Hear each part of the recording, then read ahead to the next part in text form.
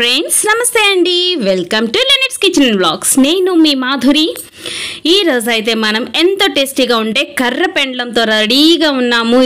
దీనికి కాంబినేషన్గా కొరమేను చేపల పులుసు కూడా తీసుకుంటున్నామండి. టేస్ట్ మాత్రం అద్దిరిపోయిందంతే చాలా చాలా రుచిగా ఉండే ఈ కొరమైన చేపల పులుసుతో ఈ కర్ర పెండ్లాన్ని తింటుంటే అబ్బా అసలు చాలా అంటే చాలా ఎంజాయ్ చేస్తారు ఎవరైనా సరే.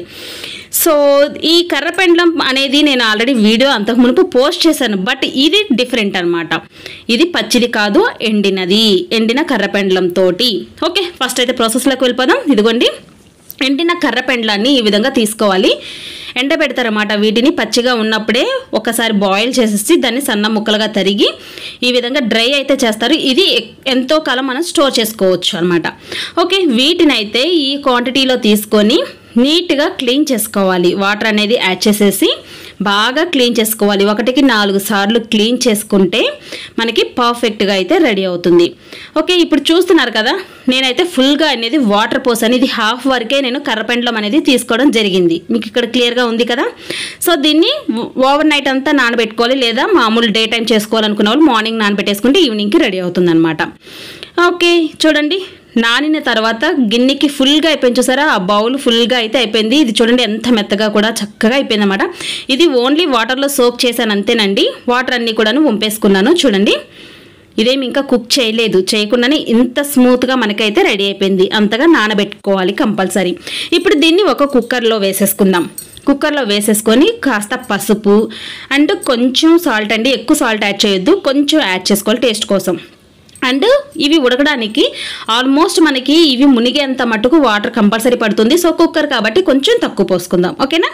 ఇలా పోసుకొని పైన కొంచెం కర్రీ లీవ్స్ అనేది కూడా యాడ్ చేసుకోవాలి. యాడ్ చేసేసుకొని దీన్ని ఒక ఫైవ్ టు సిక్స్ విజిల్స్ వచ్చే వరకు కంపల్సరీ కుక్ చేసుకోవాలి.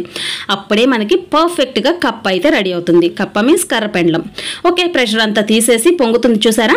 ఇలా తీసేసిన తర్వాత చూస్తే చూడండి పర్ఫెక్ట్ ఇందులో ఎక్స్ట్రా వాటర్ ఏమన్నా ఉంటే మాత్రం ఆ వాటర్ అనేది వంపేసుకోండి ఇన్ కేస్ వాటర్ ఉన్నట్లయితే. ఇలా మనం మెత్తగా అయితే చేసుకోవాల్సి ఉంటుందండి అప్పుడే టేస్ట్ బాగుంటుంది. ఇదిగోండి ఇలా గరిటతో తిప్పుకోగలిగే ఇది ఉంటే గరిటతో తిప్పేసుకోవచ్చు లేదనుకుంటే ఇలా పప్పు గుత్తితో అయినా మెత్తగా స్మాష్ చేసుకోవాలి. ఇలా చేసుకున్న మొత్తం కూడాను చేసుకున్న తర్వాత దీంట్లో మనం ఇంకా చాలా ప్రాసెస్ ఉందండి అయిపోలేదు.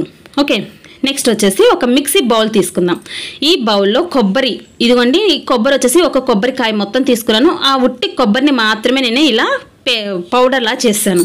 దీంట్లో గార్లిక్ క్లోవ్స్ అండ్ సా టేస్ట్కి తగినంత సాల్ట్ కొంచెం టర్మరిక్ పౌడర్ అండ్ జీరా. ఇవి వేసుకోవాలి.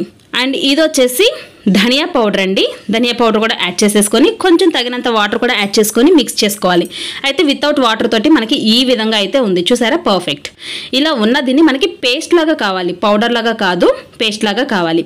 సో కాస్త వాటర్ అనేది యాడ్ చేసేసి మనం ఎంచక్క పేస్ట్ చేసేసుకోవాలి. ఇదిగోండి ఫైన్ పేస్ట్ ఇలా చేసుకున్న తర్వాత దీన్ని ముందుగా మనం స్మాష్ చేసి పెట్టుకున్నాం కదా కర్రపెండ్లం. మరీ పేస్ట్ లాగా అవదండి అలా చిన్న చిన్న ముక్కలు కనిపిస్తుంది చూసారా? అలాగే ఉండాలి. ఓకేనా?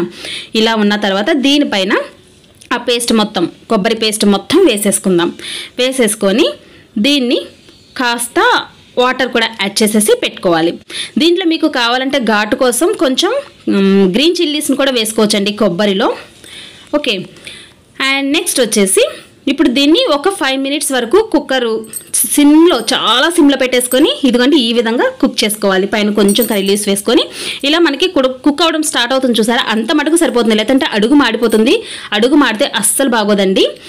ఓకే ఇలా చేసిన తర్వాత మొత్తం ఒకసారి బాగా మిక్స్ చేసుకోవాలి. ఇట్లా మిక్స్ చేసుకున్నాక తాలింపు వేసుకోవాలి. తాలింపు కోసం ఆయిల్ వేసేసుకొని ఎండుమిర్చి ఆవాలు జీలకర్ర వేసేసుకొని ఈ చిటపట్లాడిన తర్వాత కర్రీ లీవ్స్ కూడా యాడ్ చేసేసుకోవాలి. ఇప్పుడు ఆల్రెడీ రెడీగా పెట్టుకున్న కర్రపెండలం ఉంది కదా దాంట్లో మనం ఇది యాడ్ చేసేసుకోవాలి ఈ తాలింపుని. యాడ్ చేసేసుకొని ఇది మొత్తం ఒకసారి మిక్స్ చేసేసుకోవాలి. మనకైతే చాలా చాలా పర్ఫెక్ట్ ఉంటుందండి. అండ్ ఇప్పుడు ఈ తాలింపులోనే మీకు కావాలంటే ఆనియన్స్ కూడా వేసుకోవచ్చు అండి బట్ అది స్టోర్ చేసుకోవడానికి ఉండదు. మనకి వెంటనే తినేయాల్సి వస్తుంది. లేకపోతే పాడైపోవడానికి ఛాన్సెస్ ఎక్కువ. అండ్ పచ్చి కొబ్బరి వేసాం కాబట్టి ఎక్కువ స్టోర్ చేసుకోవడానికి అస్సలు ఉండదు. అప్పటికప్పుడు తినాలి. లేదా కొంచెం కూల్ అయిన తర్వాత ఫ్రిడ్జ్లో పెట్టేసి తర్వాత హాట్గా హాట్గా మళ్ళీ వేడి చేసుకొని తినాల్సి ఉంటుంది. సో ఇలా వేడి వేడిగా ఉన్నప్పుడే చక్కగా సర్వ్ చేసుకోవాలి. చూసారా? పర్ఫెక్ట్గా అయితే రెడీ అయిపోయింది. ఇలా సర్వ్ చేసుకున్న దీంట్లో నేనైతే కొరమైన చేపల కాంబినేషన్ తీసుకున్నాను. అమేజింగ్ అండి. అసలు రుచి మామూలుగా లేదు. దీంట్లోకి వచ్చేసి చికెన్ మటన్ ఇట్లా. చేపలు ఇవి ఏదైనా తీసుకోవచ్చు. నేనైతే కొరమేన్ చేపలు తీసుకున్నాను కదా చాలా టేస్టీగా ఉంది.